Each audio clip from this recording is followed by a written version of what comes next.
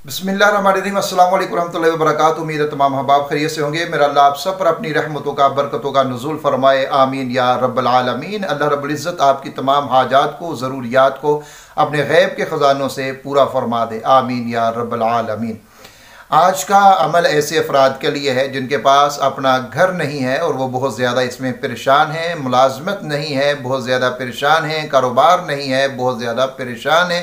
ऐसे तमाम अफराद ये अमल कर सकते हैं। इन ताला मेरा अल्लाह फजल फरमा देगा और चंद दिनों के अंदर ही ये तमाम तर इंतज़ाम हो जाएँगे अल्लाह के फजल करम के साथ। क्योंकि वही चाहता है, जो चाहता है वही होता है। हमारी कोशिश होती है कि उसकी रहमत हमारी तरफ़ मतवजह हो जाए। और याद रखिए कि जब उसकी रहमत हमारी तरफ़ मतवजह हो जाती है तो फिर ही तमाम बिगड़े हुए काम बन जाते हैं। वो तो अनहोनियाँ हमारे सामने आ जाती हैं, ऐसी ऐसी कि जो हमारे वहम गुमान में नहीं होता। हज़रत इमरान आसमाम हज़रत मरियम के जो वालद मोहतरम हैं, उनकी जो बीवी हैं, उन्होंने मन्नत मानी थी। जब उनको हमल हुआ तो उन्होंने मन्नत मानी थी कब्बीनी नज़र तुला का माफ़ी बतनी मुहर्रा ये कुरान मजीद में है। उन्होंने मन्नत मानी कि या अल्लाह, ये जो मेरे पेट में है, यानी मैं हमल से हूँ तो ये जो मेरे पेट में है, इसको मैं तेरे नाम के ऊपर आज़ाद कर दूँगी, तेरे दीन के लिए मैं इसको वक़फ़ करूँगी। वो समझती थी, मेरा बेटा होगा। लेकिन जब फलम्मा वज़ात तो जब पैदाइश होती है तो वो उन्होंने देखा कि वो बेटी अल्लाह रबुल्ज़त ने दी है तो बहरहाल उन्होंने बेटी को ही दीन के लिए वक़फ़ कर दिया। हज़रत ज़क्रिया सलाम जो सैदा मरियम के खालू जान थे, ये जो बच्ची पैदा हुई, इनका नाम मरियम रखा गया तो उनके खालू जान थे तो वो सपुर्द कर दी गई हज़रत ज़करिया सलाम के कि आपने इनकी परवरिश करनी है, आपने इनकी तालीम का इंतज़ाम करना है। हज़रत मरियम जो हैं, हज़रत ज़करिया के पास रहने लगी। उनके पास उनके लिए ख़ास हुजरा था, जहाँ पर हज़रत मरियम रहती थी। तो हज़रत ज़करिया सलाम कहीं तबलीग के सिलसिला में चले गए और हज़रत मरियम को एक कमरे के अंदर उन्होंने वो जो हुजरा था, वहाँ पर छोड़ दिया। और अब उस हुजरे में हज़रत ज़करिया की इजाज़त के बगैर ना तो कोई दाखिल हो सकता था और हुजरा बंद था, उसका दरवाज़ा भी हज़रत ज़करिया ही खोल सकते थे। हज़रत ज़करिया जब चले जाते हैं तो हज़रत मरियम उस कमरे के अंदर, हुजरे के अंदर रह जाती हैं। हज़रत ज़करिया सलाम मतलब कुछ वक़्त गुजर गया, चाहे एक दिन या दो दिन, जितना भी था, वो जाते हैं तो जब उनको ख्याल आया कि मरियम तो वहाँ पर होगी और उसके लिए खाने पीने का भी इंतज़ाम मैं नहीं करके आया, जब वो वहाँ पर आते हैं, हज़रत मरियम सलाम के पास आते हैं, हुजरे के अंदर पहुँचते हैं तो वो देखते हैं कि वहाँ पर उनके लिए रिजक का इंतज़ाम मौजूद है। खाली के कायनात ने इंतज़ाम फरमा दिया था। तो वो वहाँ पर पहुँच गए।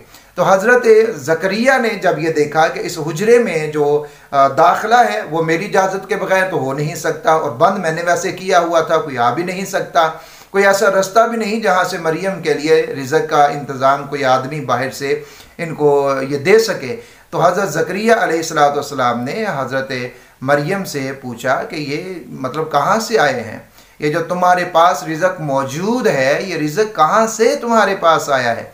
तो हज़रत मरियम ने क्या जवाब दिया? वो भी कुरान ने नकल किया, कौलत हुआ मिन इंदिल्ला हज़रत मरियम कहने लगी कि ये जो मेरे पास आप देख रहे हैं, जो रिजक मौजूद है, ये मेरे अल्लाह ने मुझे दिया है।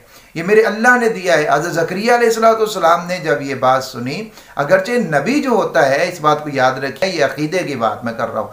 नबी जो होता है वो अपने दौर में सबसे ज़्यादा आलिम होता है, सबसे ज़्यादा आबिद होता है, सबसे ज़्यादा जाहिद होता है और सबसे ज़्यादा मज़बूत ईमान वाला नबी ही होता है अपनी उम्मत में से सबसे ज़्यादा। हज़रत ज़करिया ने जब ये सुना तो उनको ख्याल चला गया इस बात की तरफ़ कि अल्लाह रब्ज़त यहाँ पर रिजक पहुँचा रहा है तो मैं भी तो बे औलाद हूँ, मैं भी अपने रब से मांग लूँ। तो हज़रत ज़करिया ने वहीं पर खड़े हुए, ये भी उससे आगे, आप इसको पूरे रकू को आप मुताल कीजिएगा। हज़रत ज़करिया ने वहीं पर हज़रत मरियम के उसी हुजरे में खड़े होकर उन्होंने दुआ कर ली, अल्लाह रब्ज़त से कि मौल करी मुझे भी नेक और साल औलाद अता फरमा दीजिए। सुरह इमरान में आप इसका मुताल ज़रूर कीजिएगा। तो अल्लाह रब्ज़त ने ज़करिया को खुशखबरी सुनाई वह बेटे की उनका नाम यहिया बता दिया, कुरान मजीद के अंदर आ गया। तो अल्लाह रब्ज़त की ये ताकत है कि वो जो चाहता है, जिस वक्त चाहता है, जैसे चाहता है, वो कर गुजरता है। बस कुछ ऐसे लम्हात होते हैं जिनमें हमने अपने मालिक से मांगना होता है।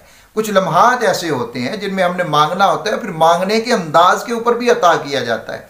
कुछ आपने देखा होगा, कुछ भिकारी ऐसे होते हैं, उनके मांगने का अंदाज इतना दिलकश होता है कि इंसान ना चाहते हुए भी उनको दे देता है। यानी उनके मांगने का अंदाज, लजाजत, उसके अंदर आजी, इनके सारी या अल्फाज का चुनाव।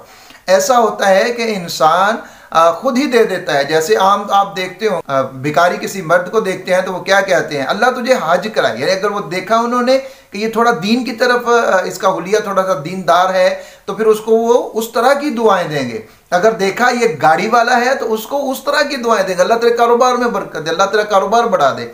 अगर दीनदार का हुलिया देखेंगे तो कहेंगे, अल्लाह तुझे हज करा दे। अल्लाह तेरी नमाजें कबूल कर ले। यानी अल्फाज का चुनाव वो सूरत हाल के मुताबिक करते हैं।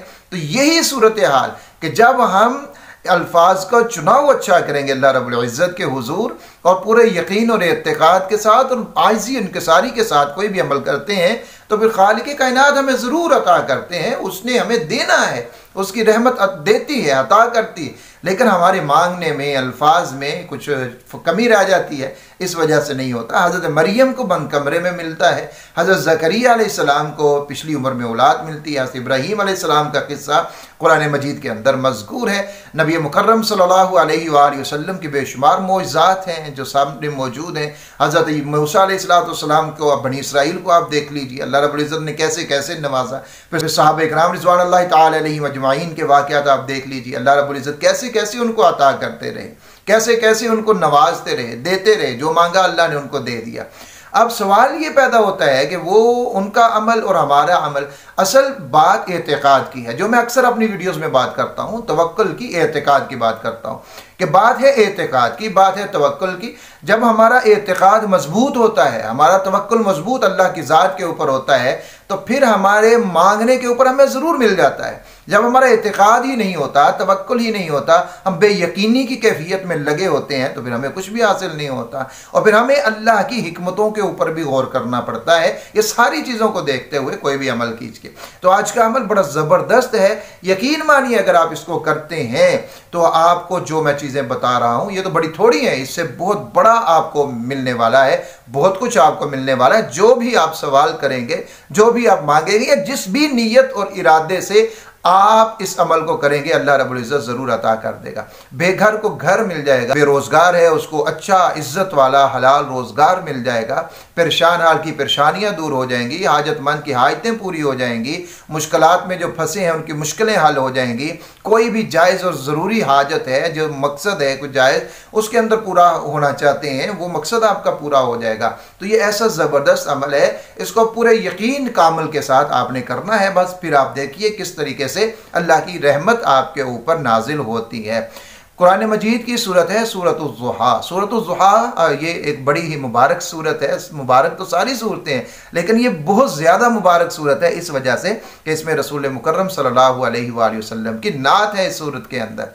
अल्लाह रबुल्ज़त की ने जो ये सूरत नाजल की है, इस सूरत के अंदर इसकी एक आयत है, वाला सऊफ़ का रब का फ़तर वाला सऊफ़ का रब का फ़तर ये जो आयत है, ये ये आयत भी बड़ी कमाल की है। इस आयत को अगर आप इसका तर्जुमा पढ़ें, तफसीर पढ़ें, फिर इसका पूरा पस मंज़र अगर आप समझेंगे, आपको मज़ा आ जाएगा।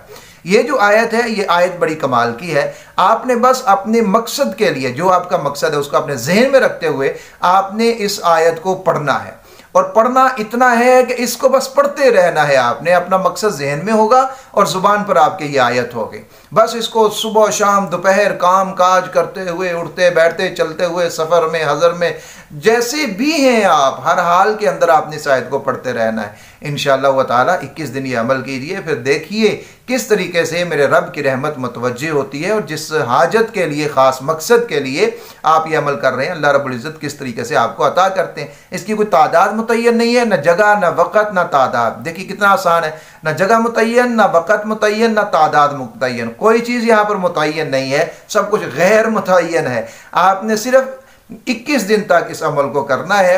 हराम हलाल की पहचान करते हुए नमाज़ पंजगाना की पाबंदी करते हुए आपने इस अमल को करना है। इन ताला, अल्लाह फजल फरमाएँगे और इन इक्कीस दिनों के अंदर आपके लिए कोई खुशखबरी आ जाएगी, जिस मकसद के लिए आप ये अमल कर रहे हैं, उस मकसद में आपको कामयाबी ज़रूर नसीब हो जाएगी। और जब आप अपने मकसद में कामयाब हो जाएँ तो फिर आपने सदका करना है अपनी इस्तात के मुताबिक। अगर आप चैनल पर नए हैं, चैनल को सब्सक्राइब ज़रूर कीजिएगा, वीडियो को आगे भी शेयर कीजिएगा। इन ताला, एक नए वजीफे के साथ आपके साथ मुलाकात होगी। अपना ख्याल रखिएगा, अल्लाह हाफ़ नासिर।